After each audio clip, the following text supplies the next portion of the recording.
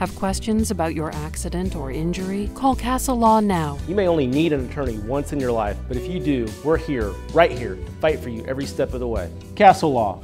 Call us or come see us on Wednesdays. You'll be glad you did.